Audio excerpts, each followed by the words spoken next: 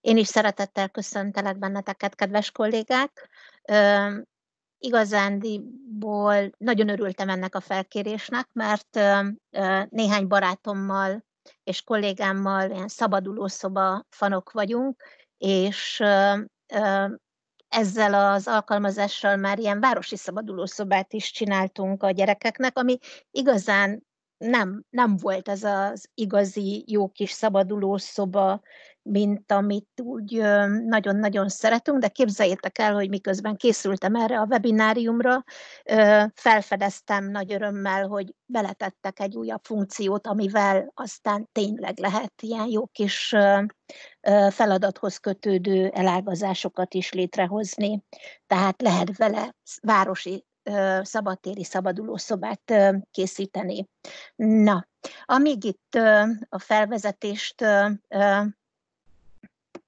elmondtam, kár, hogy nem előzte meg az, hogy örülnék neki, hogyha a mobiltelefonra letöltenétek ezt az alkalmazást, ugyanis amilyen pályát most el fogok készíteni, annak lehetőségetek lesz a tesztelésére, ugyanolyan módon, mint amikor egy pedagógus elkészít a gyerekeknek egy pályát, akkor szereti letesztelni, hogy mit is csinál tulajdonképpen.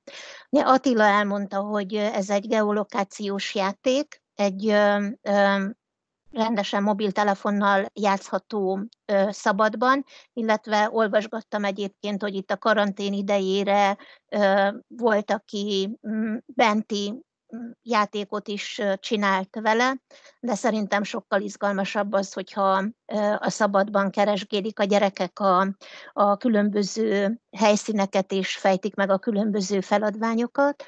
Azt kell róla tudni, hogy maga az útvonal, amit elkészítünk, az a bound tulajdonképpen, az rátölthető a mobiltelefonra, és hogyha rátöltötték a gyerekek mondjuk az iskolában azt a pályát, amit teljesíteniük kell, akkor menet közben nem használ az alkalmazás adatforgalmat, hanem amikor majd visszaérnek a gyerekek az iskolába, akkor tudják az eredményeiket ismét visszatölteni a, magára az, az internetes weboldalra. Tehát úgy látjuk majd mi is a gyerekeknek az eredményeit. Attila megosztott a felhívásban egy ilyen kis videót, azt megnéztétek, gondolom, hogy ha itt vagytok és érdeklődtök az alkalmazás iránt, illetve itt a nem itt, hanem a regisztrációnál látható, hogy hányféle hányféle felhasználói lehetőség áll rendelkezésre. Az ingyenes fiók az tulajdonképpen privát használatra jogosít fel, de mi a kollégáimmal használjuk a gyerekeknek is az utolsó tanítási napra, vagy, vagy bármilyen ilyen közösségi élményt biztosító alkalomra tehát nyugodtan használjátok a, az ingyenes fiókot. Regisztrálni a Sign Up menüponttal lehet, és itt látjátok a különböző licenszeket. A az oktatási licensz az olcsóbb, mint a Pro verzió. Az előbb néztük meg Attilával, hogy 49 euró egy pedagógusra egy tanítási, vagy egy évre, nem tanítási évre, mert meg lehet adni a kezdődátumot hogy mikortól éljen a fiúk. Nem gondolnám, hogy, hogy mindannyiunknak lehetősége van erre előfizetni. Akinek van, az tegye meg, mert hogy nézzétek meg, hogy azért számtalan előnye van az edufióknak és a profióknak is a, a privát felhasználóval szemben.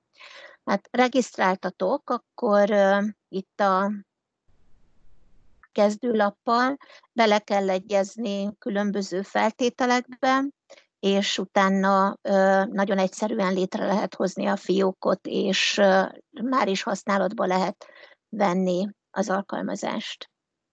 Már is bejelentkezem. No, hogy is néz ki ez a weboldal? Itt láthatjátok a mi fiókjainkat, amelyek már elkészültek, vagy pályáinkat, bocsánat, amelyek már elkészültek, és a gyerekek használták, és majd bele fogunk pillantani valamelyikbe, amikor arra térek ki, hogy hogyan láthatjátok a gyerekek eredményeit. A fiókotoknál érhető el a médiakönyvtár, ide kell feltölteni azokat a képeket, illetve videófájlokat, amelyeket bele szeretnétek tenni az útvonalba. Lehet linket megosztani egyébként. Én kipróbáltam, miközben készültem egy YouTube linkkel, és meg is fogom mutatni itt a webinárium közben, de hogy csak linkként jelenik meg, nem pedig videóformátumban. Tehát, hogyha videót szeretnétek feltölteni, akkor akkor itt egy fel kellene tölteni ide a, médi, a könyvtárba. És az összes képet is fel kell tölteni, amit szeretnétek beletenni a pályátokba, nem kell aggódni, hogyha elfelejtitek egyébként a pályakészítés előtt, mert amikor valahová képet szeretnétek beszúrni, akkor megint megjelenik ez, a, ez az ablak, és fel tudjátok tölteni, ami hiányzik. Én hétfőn készítettem néhány képet, miközben sétáltam az iskolába, és ebből hármat már ide feltettem, és ide az upload segítségével felteszem a többit is, hogy lássátok, hogy tényleg nagyon egyszerű. Így, és majd innen kell beszúrni a, az alkalmazásba, az útvonalba, miközben dolgozunk. Azt hiszem a kollégiumot nem szúrtam még be, így. Jó, tehát innen éritek el a médiatárat. Ugye a profilotokat is innen éritek el, hogyha ö, meg kell változtatni a jelszavatokat, azt így tudjátok megtenni aztán a public boundokat, tehát a nyilvános útvonalakat, kaland útvonalakat is innen lehet, vagyis innen a fenti menüsorból lehet elérni. Kontroll görgővel lehet görgetni. Ezt nem nagyon értettem, hogy hogy Magyar vagy Miskolcra csak egy darab egy darab pályát mutat elérhetőnek, pedig látját, láttátok, hogy nálam is vannak, és, és mindegyik online, tehát hogy direkt ellenőriztem, hogy nem tettem-e offline állapotba, de hogy, hogy nem, és hogy itt vannak ezek, egy, egy darabot mutat. Nem értem, de ez nem akadályozza meg a használatát, tehát hogy megnézhetitek, hogy az országban hány darab van, és egyébként nagyon mm, praktikusan el lehet készíteni egy osztálykirándulás előtt is egy ilyen kalandpályát a gyerekeknek. Már is megmutatom, hogy hogyan. Tehát a Create Bound-ra fogunk kattintani, az jelenti azt, hogy az útvonal, vagy létrehozzunk egy ilyen pályát vagy útvonalat, és a New Bound-dal adjuk hozzá az újat, és először is meg kell adni a a címét ennek a pályának, és meg kell adni a, a linkjét is, tehát hogy hogyan lesz elérhető, hogyan lesz megosztható ez a pálya. Be lehet állítani azt, hogy egyenként játszák, majd tehát egyéni játékosok játszák, vagy pedig csoportosan csapatban játszák a gyerekek, és meg lehet azt is áll, be lehet azt is állítani, hogy fix sorrendbe kövessék egymást az állomások, vagy pedig nem meghatározott sorrendben, hanem ez flexibilis a sorrend. Nem kell aggódni, hogyha itt elfelejtettétek beállítani, mert ezt is meg lehet csinálni menet közben is, és utólag is. És a Create Bound gombra kell kattintani, amikor megadtuk a szükséges adatokat. Már létre is jött a pályánknak a kezdete. Ezt a kezelőfelületet szeretném először bemutatni, amit itt a bal oldalon láthattok. Itt ez a három csíkocska, ez olyan, mint a három pont vagy a kilenc pont az Office-ban, hogy helyi menüt hoz létre, vagy nyit ki. Ugye itt a pályák vagy az állomások jönné, jönnek majd ki, amikor elkészültek, és itt lehet a sorrenden is változtatni, hogyha mm, meg szeretnétek, de egyébként magán a szerkesztő felületen is. Itt az A betűs gombra kattintva látjátok a nyitó lapját a pályátoknak. Ugye itt lehet letesztelni, ezt meg fogjuk csinálni majd a webinárium végén együtt, illetve amikor készítünk egy pályát, az mindig offline állapotban van, tehát nem játszható addig, amíg online nem teszitek, tehát nem publikáljátok ezt a pályát.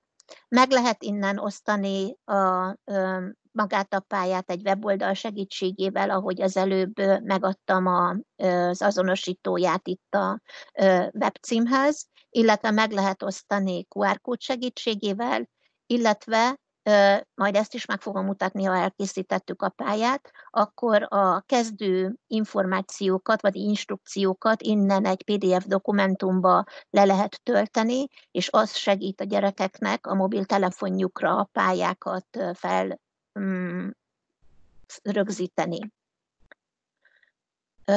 A tartalomban lehet szerkeszteni a különböző elemeket, még egy picit visszamegyek a menüsorra.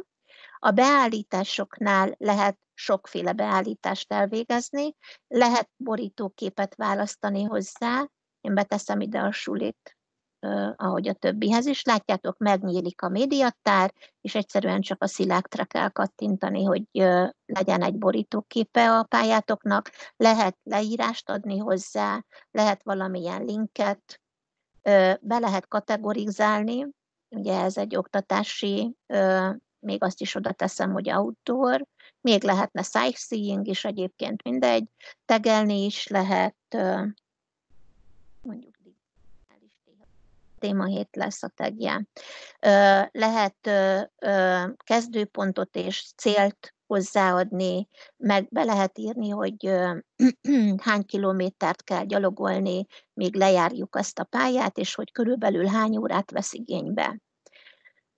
Csak azért, hogyha val, a, ugye ezek publikusak, ezek az útvonalak, és, és hogyha valaki keres mondjuk Miskolcon egy pályát, amit mondjuk egy osztálykiránduláson vagy egy családi kiránduláson le szeretne járni, akkor tudja, tud, legyen valami viszonyítási alap ahhoz, hogy hány órát vesz igénybe és mennyit kell gyalogolni.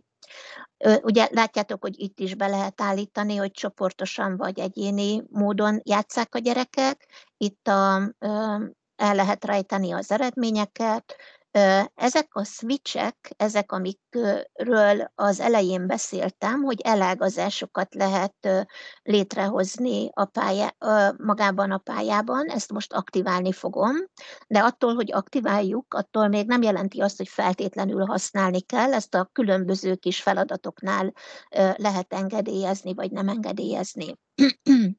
Megint itt van, hogy hogyan járhatók be tetszőlegesen, vagy ilyen flexibilis módon, vagy meghatározott sorrendben.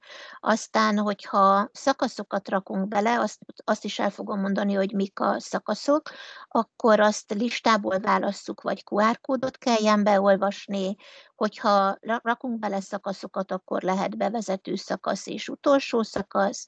Ugye térképet is használ az alkalmazás a pálya bejárása során, és itt ki lehet választani a, a stílusát a ö, térképnek. Nagyon jó pofák ezek a ö, vízfestékes, meg, meg ilyen kis vonalkás térképek, de azért a legélethűbb azért ez a műholdas térkép, és ennek a segítségével elég pontosan le lehet tenni azokat az állomásokat, amelyeket a gyerekeknek meg kell keresni.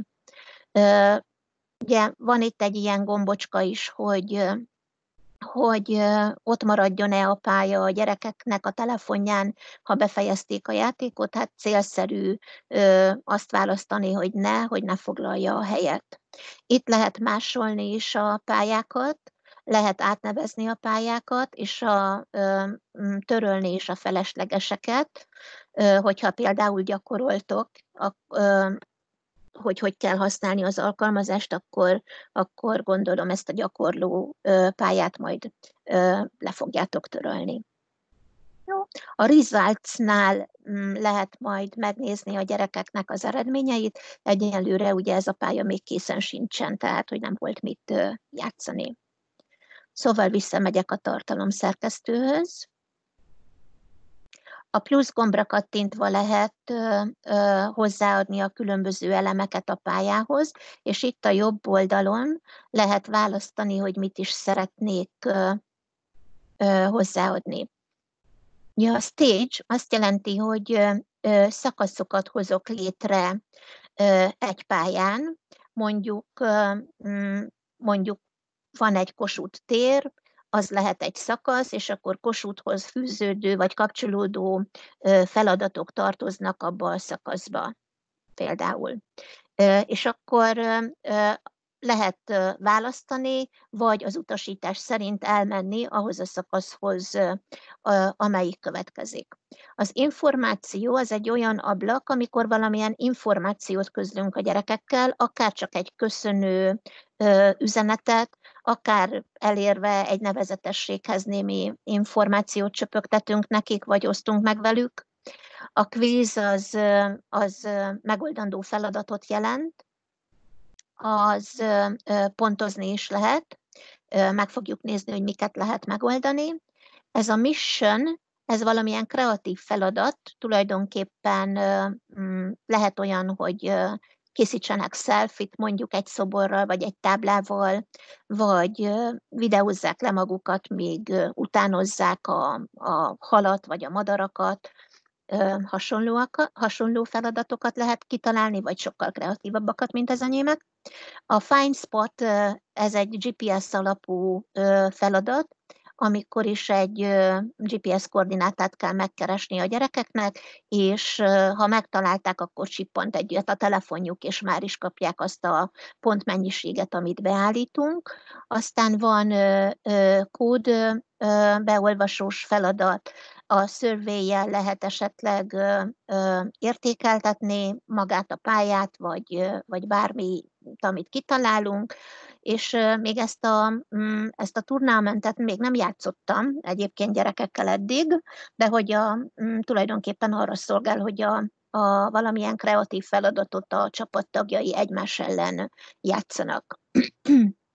Na, először egy információs feladatot, vagy információs üzenetet fogok megosztani, az lesz, hogy köszöntelek benneteket. Jó, ez lesz tehát a tartalma, tehát a content azt jelenti, hogy tartalom. Egy picit lehet formázni a szöveget, lehet beletenni ö, képet, ugye emlékeztek a médiatárból kell beletenni, mondjuk megint a sulit teszem, hogy innen indulunk. Lehetne beletenni videót, de a videóhoz is látjátok, hogy a médiatárat kell használni, úgy, ahogy ez elején is mondtam, tehát fel kell tölteni először a médiatárba a videót, és utána lehet beszúrni. Vagy lehet hangfájlt is beletenni, azt is fel kell tölteni, illetve lehet linket beoszta, ö, megosztani, ahhoz kell egy szöveg, amin rajta lesz a link, és utána pedig a ö, linknek a címét kell ide beilleszteni. Erre is fogok mutatni példát. Ugye most az elágazásnak az első üdvözlő üzenetnél azért nincsen nagy értelme, tehát ö, ez volt az első kis elem, amit beletettünk a pályába. Így jelenik meg, közben látjátok a villámnézetét vagy nem villámnézetét, a, hogy hogyan látják a gyerekek a mobiltelefonon a, azt, amit elkészítettünk. Jó, én úgy szoktam csinálni egyébként, hogy, hogy ezeket a pályákat, hogy mindig először ilyen GPS koordinátát teszek a, a, az állomáshoz, és utána teszek hozzá feladatot, vagy feladatokat. Tehát most is azt fogom csinálni, hogy először is kelljen megkeresni egy helyet ö, a városban.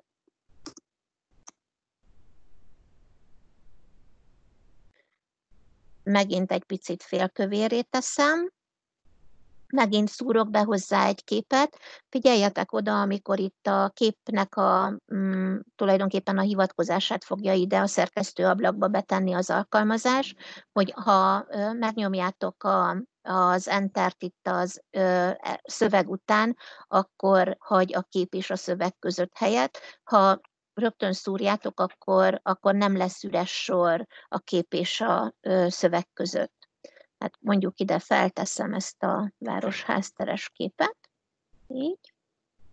Jó. Megadom a koordinátáit, tehát a, uh, itt kell megadni. Uh, a select választom, hogy uh, hova szeretném eljuttatni a gyerkőket.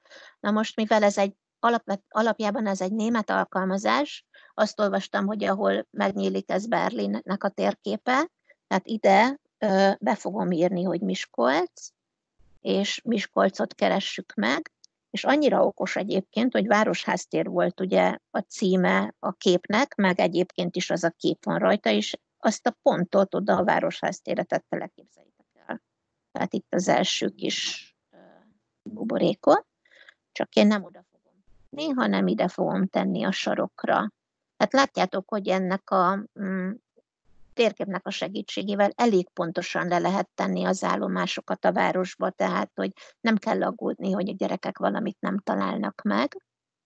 Így arra hívom fel a figyelmeteket, hogy ezt a kis jelzőbóját, ezt nem lehet vonszolni, hanem hogyha nem jó helyre tettétek, akkor át kell kattintani a másik helyre és azt is látjátok, hogy mekkora körbe kell belépni a gyerekeknek, miközben keresik a helyszínt, ahhoz, hogy úgy értékelje az alkalmazás, hogy megtalálták ezt a helyet, és le kell okézni.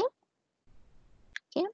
Beállításoknál meg lehet azt adni, hogy egy nyilat mutasson nekik a telefonjuk, hogy milyen irányba kell menni, és azt is mutatja egyébként, hogy mekkora távolságra vannak a céltól, illetve azt is lehet választani, hogy térképen mutassa az állomást, és akkor a térkép segítségével tájékozódnak a gyerekek.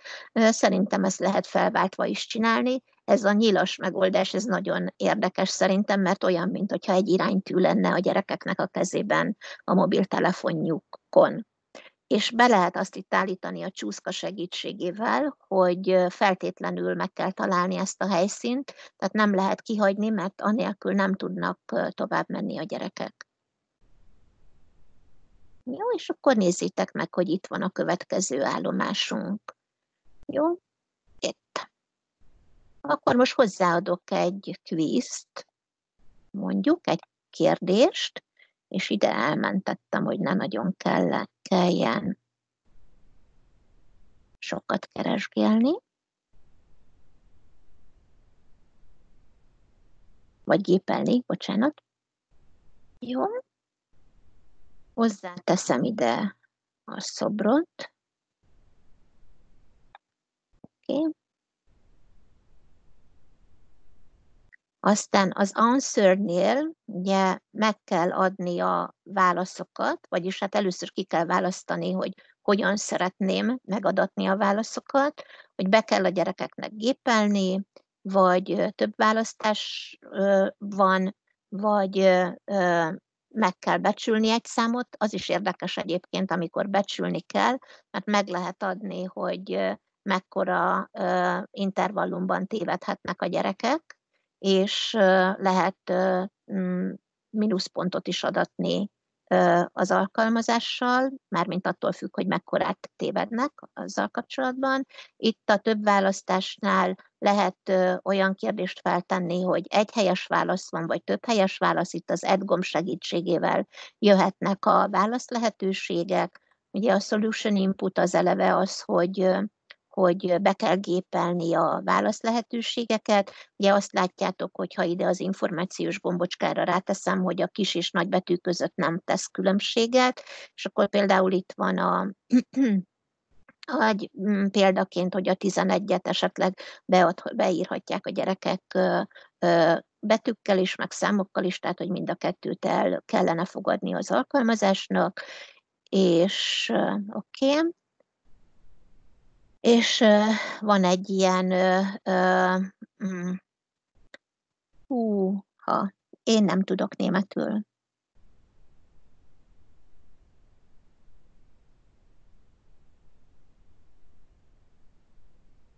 Senki nem segít. Jó, oké. Akkor ezt itt kihagyom. Tehát, hogy valamit sorrendbe kell rendezni minden bizonyal, de nem tudom, hogy mi van ideírva. Aztán uh, itt vannak a beállítások hozzá. Ja, nem adtam válasz lehetőségeket, bocsánat, visszatérek. Nem ezt akartam, hanem válasz lehetőségeket. Oké. Okay. 1994. 23. aztán 1994. március 15-én, legyen 1994. május 1-én, és ugye október 23 volt a helyes választ, ezt bejelölöm.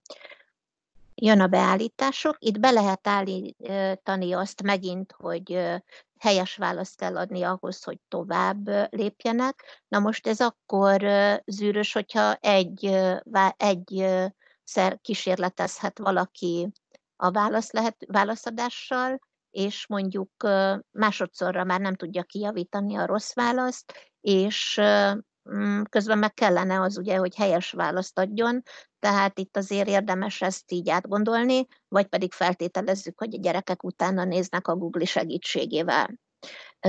Lehet olyan lehetőséget választani, hogy büntetéspontot kapjanak a rossz válaszért, illetve a, lehet ilyen segítséget adni,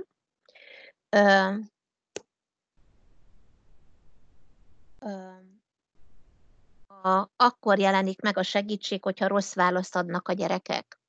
Aztán be lehet állítani az időt, hogy hány másodperc áll rendelkezésre a válaszadáshoz, és hát ugye ez akkor zűrös a gyerekeknek, hogyha elkezdenek googlizni, hogy mennyi másodperc áll rendelkezésre, illetve ugye ha letelik az idő, akkor is válaszolhatnak, csak mm, büntető százalékot kaphatnak a pontokból, hogyha túllépik ezt az időlimitet.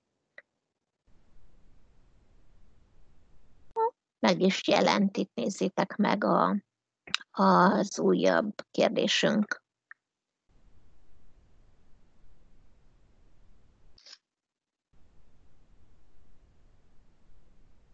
Egy újabb kérdést fogok feltenni, mégpedig link segítségével, mégpedig azt szeretném megkérdezni, hogy kik vettek részt a, a megnyitó ünnepségem, vagy a szobornak az avatásán. Itt kimásolom innen a linket. Szóval, nézd meg videót, ezt a videót, és ide beillesztem a linket. Így, oké. Okay. És az lesz a kérdés, hogy kik vettek részt a szobor és válasz lehetőségek, több választásos lesz, és több helyes válasz is lesz. Kossuth Ferenc. Ugye ez az első egész alakos szobor, Kossuth szobor volt az országban. Azt kell róla tudni. Aztán Kossuth Luisa és Lévai József, és Petőfi Sándor. És ez egy korabeli képek is vannak ebben a, ezen a videón egyébként, és látszik a videón, hogy mekkora, vagy azon a képen, ami benne szerepel a videón, hogy mekkora tömeg volt a szoboravatón. Ugye megint be lehet állítani azt, hogy hány próbálkozás van, hogy kapjanak-e mínuszpontot a helytelen válaszért, Esetleg lehet az a segítség, hogy négy helyes válasz van, hogy ami rossz válasz esetén jelenik meg. Itt be lehet állítani megint másodperceket, és lehet ugye büntit adni százalékban a pontokból, hogyha túllépik, de ezt ki is lehet hagyni egyébként. És azt hiszem, hogy mindent beállítottam. Jó, okés. És akkor ezt nem, nem engedi, tehát büntetést muszáj adni. Hogyha time limit van, akkor muszáj büntetést adni. Jó, és akkor ugye ezt mondtam, hogy a videó az linkként jelenik meg, tehát nem jelenik meg itt egy futtatható vagy lejátszható kis YouTube videó, hanem a link jelenik meg a gyerekeknek a képernyőjén. Oké, okay. akkor volt egy ilyen kvíz, hogy mikor adták át a szobrot.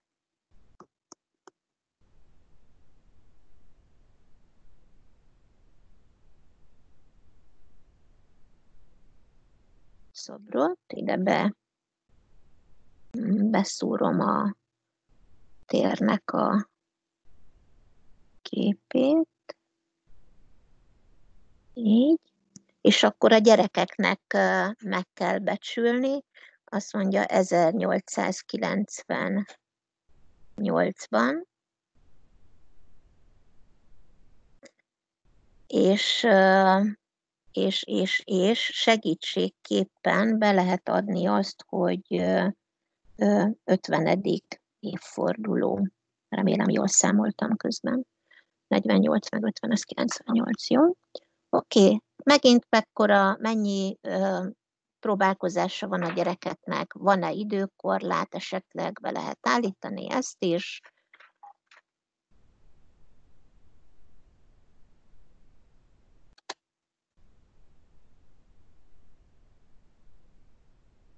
időnként olyat is. Azt mondja, ja, megmagyarázhatom a megoldást. Jó, akkor itt is megmagyaráztam. Oké, és na, így néz ki a következő.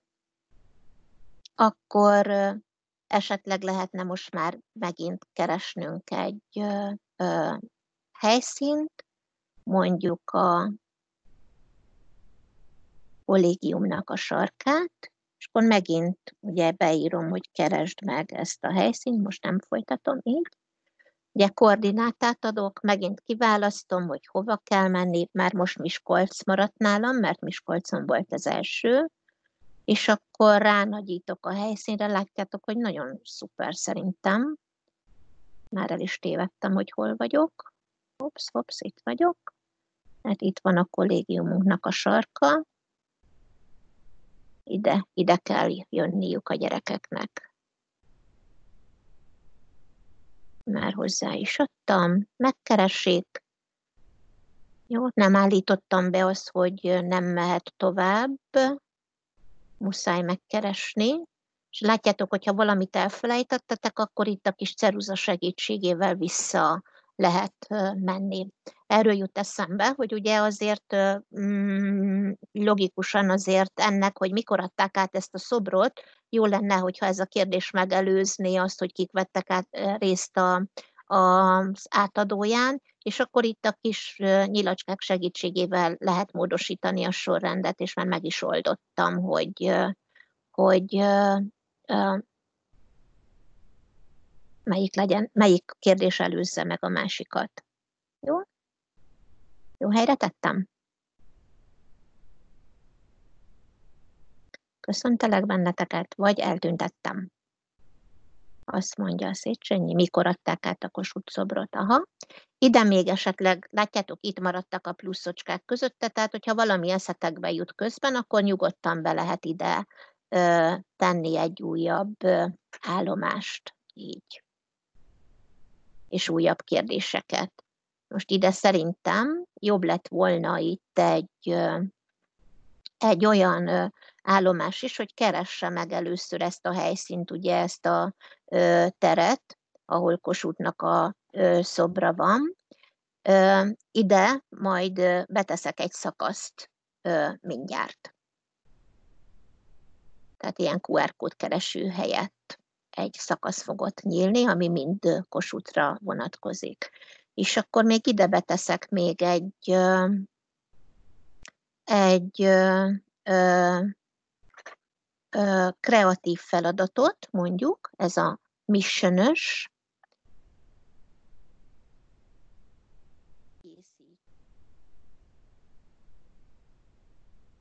képet az emléktábláról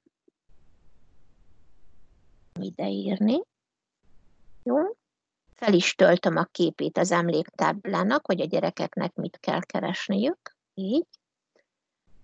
Vagy azt is lehet ideírni, hogy selfies az emléktáblával, vagy ilyesmi. Be, meg kell határozni egy kreatív feladatnál, hogy milyen típusú megoldást várunk a gyerekektől. Lehet szöveges választ várni, lehet képet, lehet videót, illetve lehet hangfájt is feltölteni, és mindegyiknél ki lehet választani azt, hogy hogyan viszik be a gyerekek ezt a választ a, a magába az útvonalba, az alkalmazásba, és én most mondjuk a, ugye a fényképet választottam, tehát fel kell tölteniük egy képet, és kameráról kell feltölteniük a képet, tehát ott kell fényképezniük, és már hozzá is teszem ezt a fel, ezt a feladatot ide az útvonalhoz. Így. Jó, nézzünk egy, egy szakaszos elemet. Tehát ugye a szakasz azt mondtam, hogy az, az a stage, tehát ilyen összefoglaló mm, kis gyűjtemény lehet egy szakasz. Ide fogom beleszúrni, ide a mm, Széchenyi szobor után. Hát most egy szakaszt, egy stage-et fogunk bele ö, szúrni, és az lesz ennek a szakasznak a neve, hogy Kossuth, és megadjuk a koordinátáját ennek a ö, szakasznak, mondjuk a Kossuth szoborhoz, ide az Erzsébet térre. Itt van a szobor. Itt lesz a szakasz. Oké. Okay. Jó.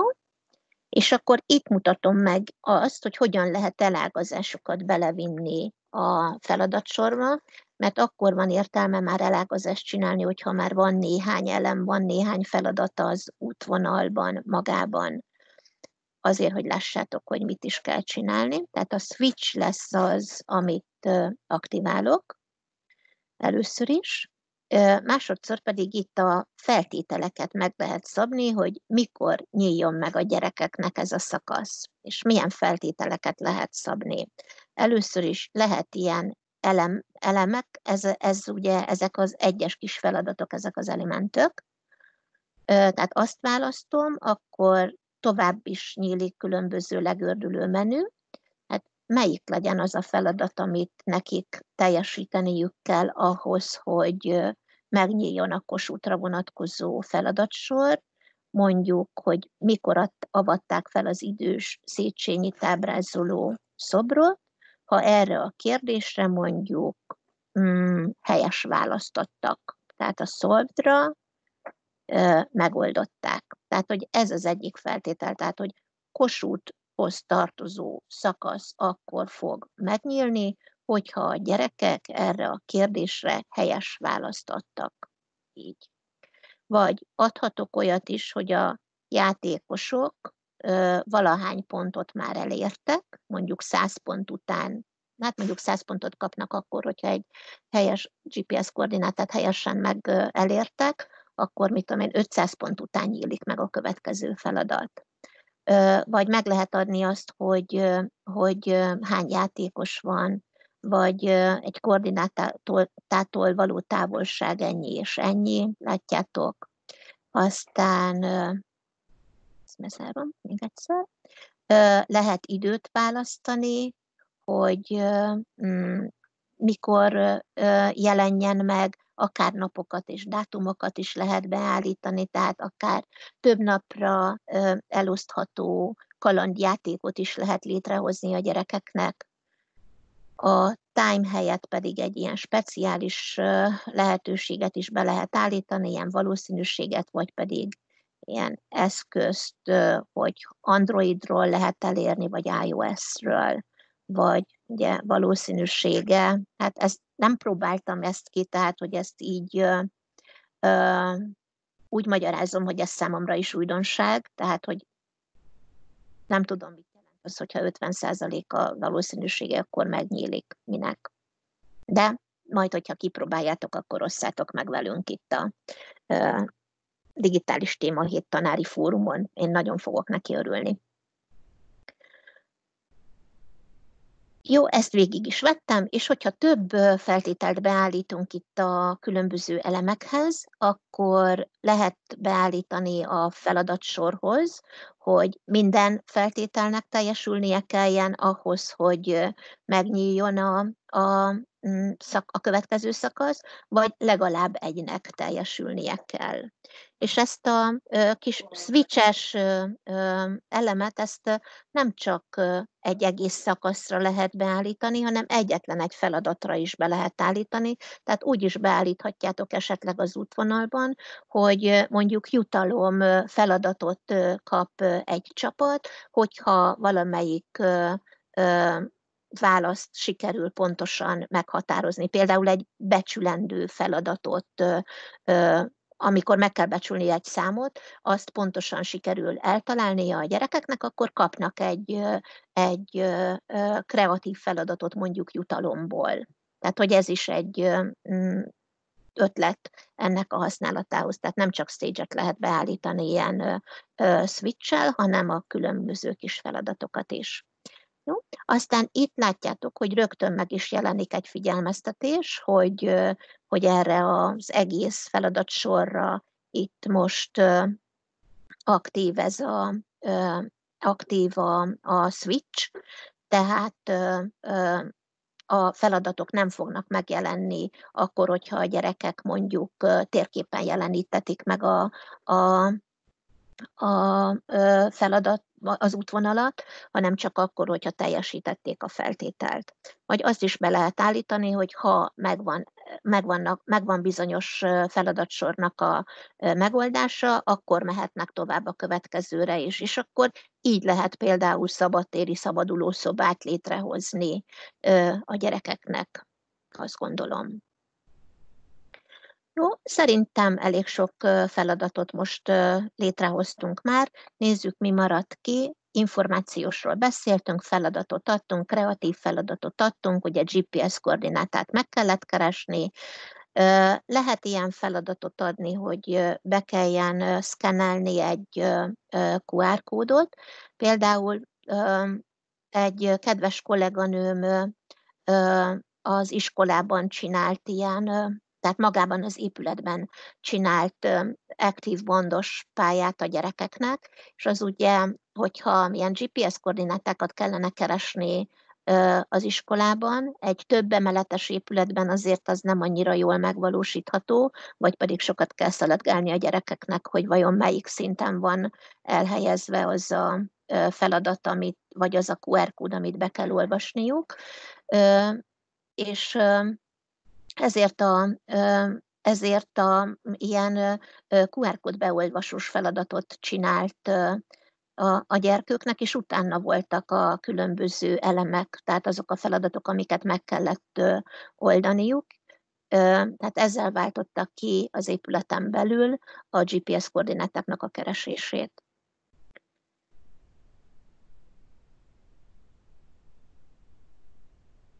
Ide mondjuk beírhatunk egy feladatot, mondjuk csak annyit írok, hogy mennyi.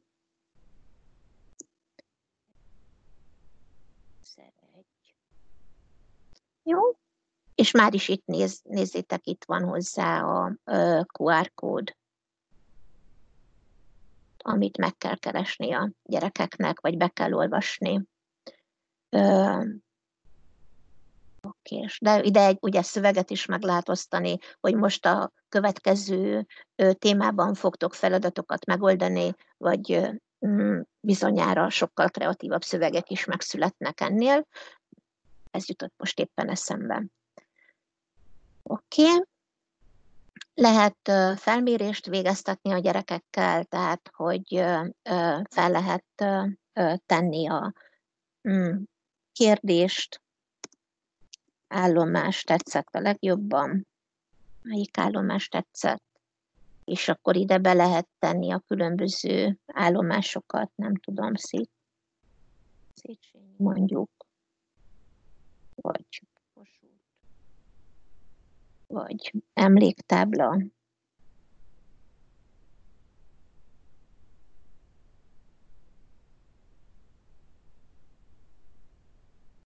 Oké, és Ugye itt nincs helyes válasz, tehát nem jár rá pont, mert csak éppen meg szeretnénk őket kérdezni valamiről, és a ezt a turnamentet, ezt nem próbáltam még ki a gyerekekkel, de hogy itt a mintaszövegben azt látom, hogy ki tudja a leghosszabb ideig visszatartani a lélegzetét, és hogy két játékos versenyzik, versenyez egymással, készen vagytok, hogy elkezdjétek, és akkor van egy ilyen mm, diátadó ceremónia, és be kell, beírják, hogy ki a győztes, de hogy ez való, a valóságban hogy történik, ezt, ezt nem tudom elmesélni sajnos. Jó, mondjuk, hogy készen vagyunk a pályánkkal, visszamegyek ide az, az a betűre. Ugye itt van a linkje, ha most rákattintok, akkor itt megnyílik itt ja, hogy persze offline, bocsánat, tehát azért nem fog megnyílni még, de hogy ezen a linken elérhető lenne a játék, ezen a QR kódon is elérhető lenne a játék, aztán le lehet tesztelni. Na most, ha tesztelitek, akkor ugye nincs értelme annak, hogy QR kódokat keressenek a gyerekek, ezért van ilyen lehetőség a, a tesztelés során, hogy, hogy át, ki lehet, át lehet ugrani egy-egy feladatot. Tehát ott van rajta a mobiltelefonon a skip, és akkor át tudjátok lépni ezeket a QR kódos feladatokat. Hogyha valamelyik kötök letöltötte a ö, mobiltelefonjára vagy a tabletjére az alkalmazást, akkor ö, olvassátok be ezt a QR kódot, és ö, próbáljátok ki, hogy hogy jelenik meg a gyerekeknél is a, a feladatsor. Ugye ennyi, hogy, hogy most nem tudunk keresgetni különböző kis GPS koordinátákat.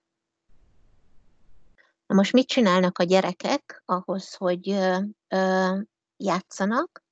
Itt van egy Download Start Instructions nevezetű letöltő gombocska, és egy ilyen PDF dokumentumot töltenek le a gyerekek, vagy a, a kollégák, és osztják meg a gyerekekkel, vagy akár kiragasztják a, az iskolában, vagy feltartják nekik, amikor elindulnak a kalantúrára.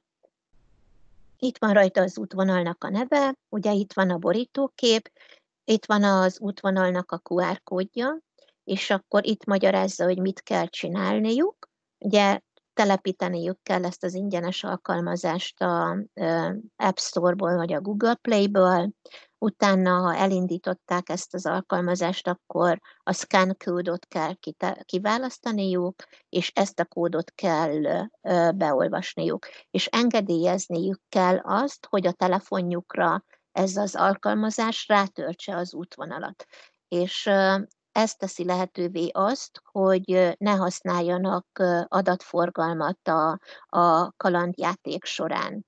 Tehát, hogyha nem töltik le az útvonalat, nem engedélyezik, akkor kell hozzá az internet, hogy a következő állomást elérjék. Ha engedélyezik ennek a letöltését, akkor, akkor internet nélkül is be tudják járni az állomásokat, és amikor visszatérnek az iskolába, vagy a célba, ahol van wifi hozzáférés, akkor vissza tudják a, a honlapra tölteni az eredményeiket. Ezt is egy, egy ilyen kis nyomógombbal kell engedélyezni a gyerekekkel. Ez célszerű az indulás előtt megbeszélni, hogy azért, hogy lássuk a mm, pontjaikat, meg hogy jutalmat adjunk, vagy nyertest hirdessünk, ahhoz engedélyezik, hogy feltöltse a, a tanárnak a fiókjába, tehát nem, nem egy nagy publikus fiókba, hanem a tanárnak a fiókjába az eredményeiket. Jó, már csak annyi van ugye, hogy ö, ö, online kell tenni ezt a ö, kis alkalmazást, vagy ezt a kis pályát, mégpedig itt az első gombbal. És akkor mm, ugye meg kell erősíteni azt, hogy igen, személyes használatra készítettem ezt a pályát, nem pedig üzleti célból, és így tovább, és akkor megjelenik az, hogy mikor tettem online-á, és ha rákattintok, akkor megint offline-nál lehet varázsolni egyébként, és a felesleges gyakorlópályákat ki lehet törölni a fiókotokból. Még ilyen kis apró segítség lehet az, hogy én mindig szoktam beállítani startállomást és célállomást, mind a kettőt az iskolába, a, vagy az iskola kapujába, vagy a portához, azért, hogy, hogy tudjam, hogy megérkeztek olyan helyre a gyerekek. Egyrészt megvan mindenki, másrészt pedig pedig tudjam, hogy olyan helyre érkeztek, ahol wifi van, és fel tudják tölteni az eredményeiket. A startnál meg ugye kipróbálhatják azt, hogy hogyan is indul, vagy hogyan keresek egy GPS koordinátát, vagy bármilyen feladatot is lehet ott adni. Az eredményeket, azokat megmutatom mondjuk egy, egy ilyen, hm, mondjuk egy ilyen digitális téma hetesen, amit készítettünk. Mondjuk itt látjátok a feladatokat már is, hogy milyen feladatokat adtunk. Egy ilyen kis iskola környéki városjárás volt a, a, az egész útvonal. Tehát megjárattuk a gyerekeket rendesen. Azt tudni kell róla, hogy ha tetszőleges a sorrend, tehát flexibilis a sorrendje az állomásoknak, akkor akkor lehetséges, hogy mondjuk Kossuth szobortól felküldi az Avasi templom mellé, és utána megint visszajön a Kossuth szoborhoz egy újabb feladatnak a megvalósítására, hogyha nem raktam ezeket a feladatokat szakasz, szakaszokba. És az eredményeket szeretném megmutatni.